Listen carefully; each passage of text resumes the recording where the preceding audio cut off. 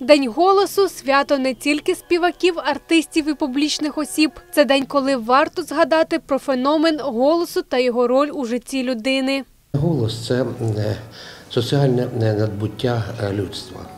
Завдяки голосу люди висловлюють свої емоції, люди зупиняють війни. Тому голос має велике значення в розвитку суспільства і в життя людини.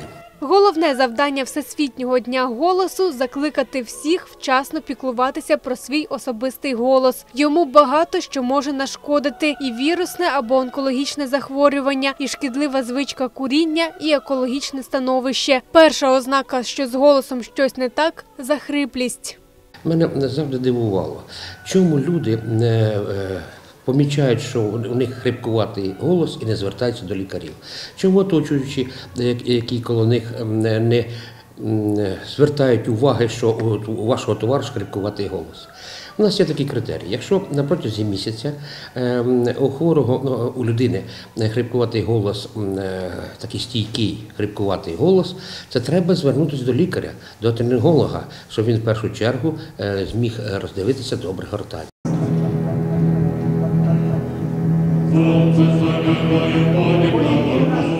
Важливо при перших симптомах не зволікати, звертатися до лікарів. За статистикою, саме чоловіки мають більше проблем із голосом та гортанню. Ну, чоловіки більше курять.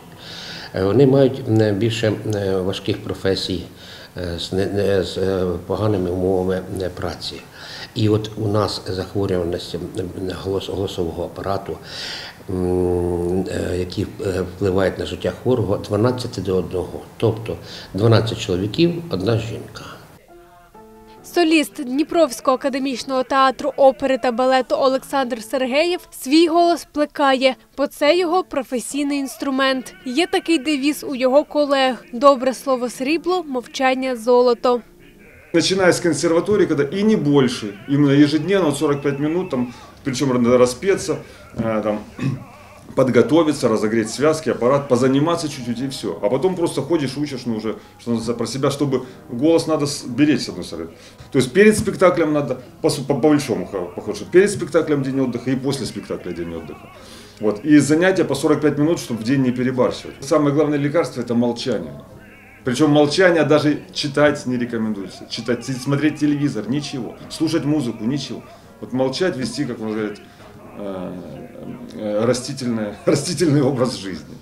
Саме неординарний голос і змінив долю Олександра. За першою освітою він фізик-механік. Почав грати у КВН, потім у театрі. Тоді й стало остаточно ясно. Його покликання не техніка, а професійний спів. А чтобы организовать театр, надо получить образование, чтобы профессиональное. И все решили получать актерское образование. А мы тогда ездили на гастроли, были во Львове, э, в Ленин, ну, в Пе- Петербург, ну, что это назывался, э, в Москве, э, в Донецке были, и потом были в Новосибирске. И везде я ходил по консерваториям, прослушивался. Где меня... И вот мне в Новосибирске сказали, приезжайте, мы вас возьмем сразу на первый курс. То есть, и, то есть так прямо откровенно сказали, я, конечно, так хорошо растерял и поехал в Новосибирск. И к говорю, Ну, э, благодаря театру КВН ДГУ я решил стать вот концертным и э, камерным певцом. Настал для вас вместе, настал для вас, настал для вас сладкий вместе час, мщения час, мщения час, настал для вас расплаты час, сладкий час. И он кричит, на колени! И падає падает на Та не ви! Анна Радківська, Руслан Герасименко. Новини 9 каналу.